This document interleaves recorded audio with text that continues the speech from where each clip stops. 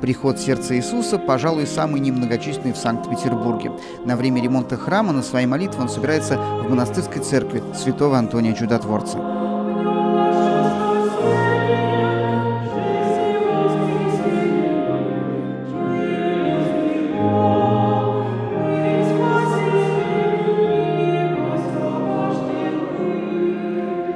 Великий Четверг – день воспоминания Тайной Вечери, на которой Христос установил таинство Евхаристии и священства. Во время литургии последний раз, вплоть до Пасхи, звучит гимн «Слава Вышних Богу» и звучат колокола и орган. Один из ярких элементов литургии – обряд омовения ног, который повторяет жест Спасителя в Иерусалимской горнице, пример служения, прощения и милосердия.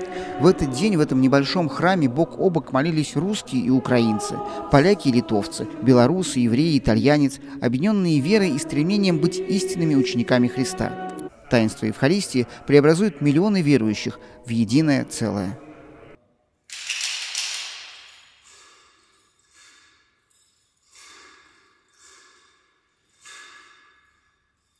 После мессы святые дары переносят на боковой алтарь, по традиции оформлены как темница, в которую поместили арестованного Христа. С главного алтаря снимают покров, дархранительница пуста и открыта. Впереди одиночество и ужас Страстной Пятницы. Но мы знаем, что именно после этого отчаяния наступает светлое и радостное воскресенье.